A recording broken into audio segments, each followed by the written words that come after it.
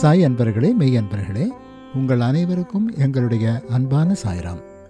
இது நம் சுவாமி பகவான் ஸ்ரீ சத்யசாதி பாபாவின் தொண்ணூற்றி ஐந்தாவது பிறந்த நாளையும் ஸ்ரீ சத்யசாதி மீடியா மையத்திலிருந்து ஒலிபரப்பப்படும் தமிழ் நிகழ்ச்சிகளின் பத்தாவது ஆண்டு விழாவையும் முன்னிட்டு பிரதிவினை பிரதிபலிப்பு பிரதிபலி என்ற தலைப்பில் குழந்தைகளுக்கென்று நடத்தப்பட்ட தமிழ் பேச்சு போட்டியில் வெற்றி பெற்ற குழந்தைகளின் வீடியோ பேச்சு காட்சி. இன்று ஆறுதல் பரிசு பெற்ற காஞ்சிபுரம் மாடம்பாக்கத்தைச் சேர்ந்த டாக்டர் திருமதி சுபா அவர்களுடைய புதல்வி செல்வி விசாகாவின் வீடியோ பேச்சு காட்சியை பார்ப்போம். அக்குழந்தையை மனமாற வாழ்த்துவோம். ஓம் ஸ்ரீ சாய்ராம். எங்கும் நிறைந்து நமக்கு அருள் புரிந்து கொண்டிருக்கும் நம் பகவானின் பொற்பாத கமலங்களுக்கு எனது அனந்த கோட்டி நமஸ்காரங்கள். இன்று பிரதிவினை பிரதிபலிப்பு மற்றும் பிரதியொளி என்னும் தலைப்பில் எண்ணங்களின் தொகுப்பை உங்கள் முன் சமர்ப்பிக்க விழைகிறேன். எத் பாவம் தத் பவதி. அதாவது நமது எண்ணங்கள் எவ்வாறோ நாமும் அவ்வாறாகவே மாறிவிடுவோம். நாம் எண்ணங்கள் நல்லதோ அல்லது தீயதோ. அவற்றின் பிரதிவினை பிரதிபலிப்ப மற்றும் பிரதியொளியினை அனுபவித்தே தீர வேண்டும். கடவுள் என்று உன்னை நீ நினைத்தால் கடவுளாகிறாய். தூசி ஒன்று என்று உன்னை நீ நினைத்தால் தூசியாகிறாய். எதுவாக நினைக்கிறாயோ அதுவாகவே மாறிவிடுவாய். பகவான் பாபாவின் கூற்றுபடி இந்த பிரபஞ்சம் முழுவதுமே பிரதிவினை பிரதிபலிப்பு மற்றும் பிரதியொளியே ஆகும். ஒரு புத்தாண்டு தினத்தன்று பகவான் தனது பேருரையில் பிரதிவினையை பற்றி இவ்வாறாகவே விளக்கினார். ஒருவருடைய மகிழ்ச்சி நகரும் மேகங்கள் போல் இல்லாது என்றென்றும் நிலைத்திருக்க வேண்டும். அனைவரும் பிறக்கும் பொழுதே ஆனந்தத்துடன் தான் பிறக்கிறோம். நாம் பிறக்கும் பொழுது இறைவன் அருளிய ஒரு கண்ட மாலை அதாவது நமது கழுத்தை சுற்றி ஒரு மாலையுடன் பிறக்கிறோம். இந்த மாலை பூமாலையோ முத்து மாலையோ விலையுயர்ந்த ரத்தின மாலையோ அல்ல நமது கடந்த கால வினைகளின் பலன்களால் ஆன மாலையாகும். நாம் செய்யும் ஒவ்வொரு செயலுக்கும் ஒரு விளைவு உண்டு.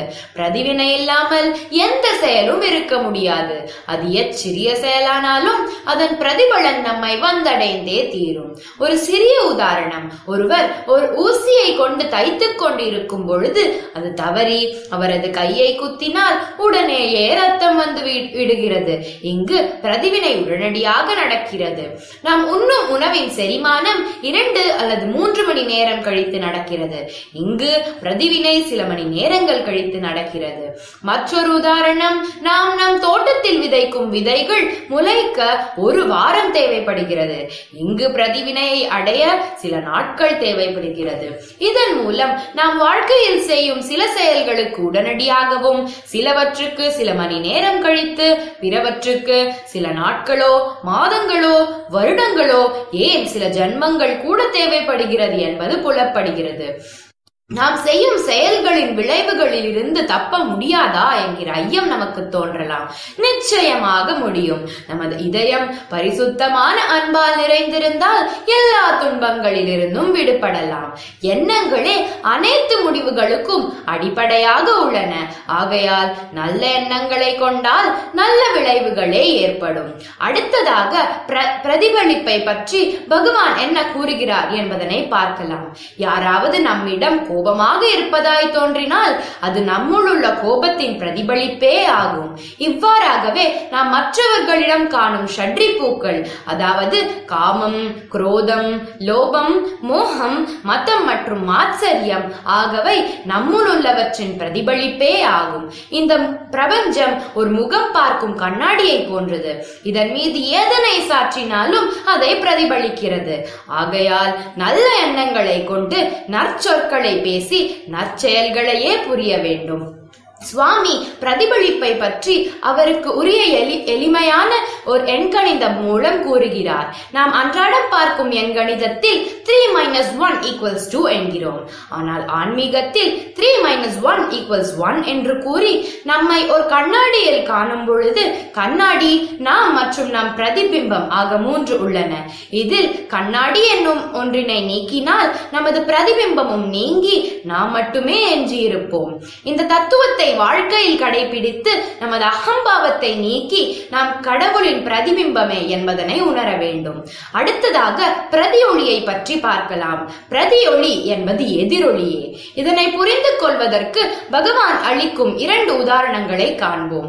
ஒரு ஆடு மேய்க்கும் சிறுவன் தனது தாயிடம் தான் மேய்ச்சலுக்க செல்லும் மதை மதை பிரதேசத்தில் யாரோ ஒருவர் அவனிடம் கோபமாக திட்டுவதாய் புகார் கூறினான்.